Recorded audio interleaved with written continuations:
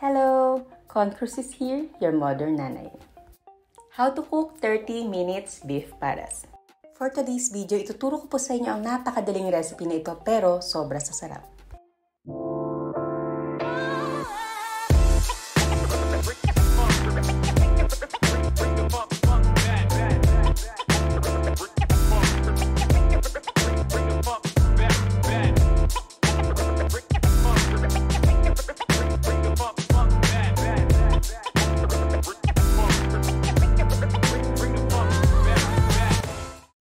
First, we need 1 kilo beef canto or pwede po kayong gumamit ng any part of beef. Using my instant pot, pagsasama-samahin lang po natin ang lahat ng mga ingredients for the beef pares.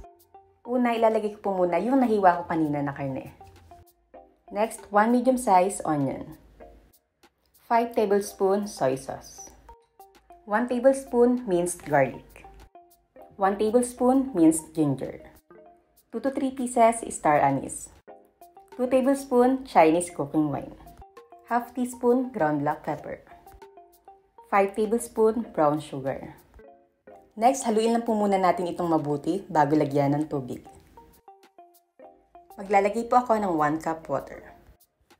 Okay, next, pwede na po natin itong takpan. Bago tayo mag-start, dapat nakalagay na po ito sa ceiling. Set pressure cook for 30 minutes. At habang inaantay po natin maluto ang ating beef pares, gagawin po natin ating garlic fried rice. Maglalagay po ako ng 2 cups of rice and 1 tablespoon of garlic flakes.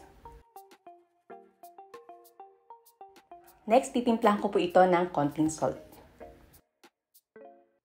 At lalagyan ko din po ito ng konting mantika, about half tablespoon only. Haluin lang po natin itong mabuti about 3 to 5 minutes or hanggang sa maluto na po mabuti ang ating sinangag.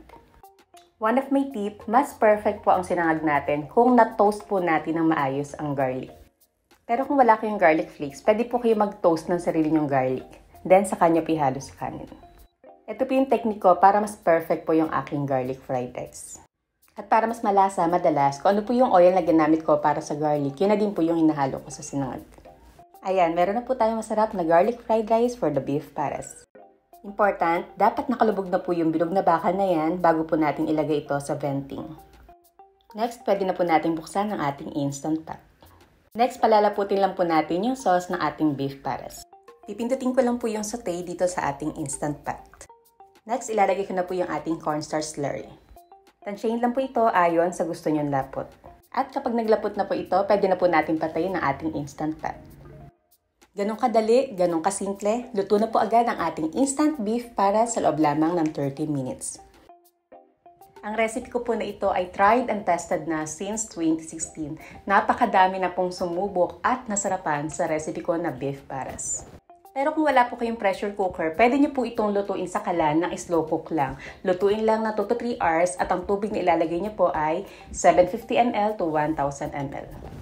Maraming maraming salamat po sa panonood. Hanggang sa ulitin, ingat po tayong lahat.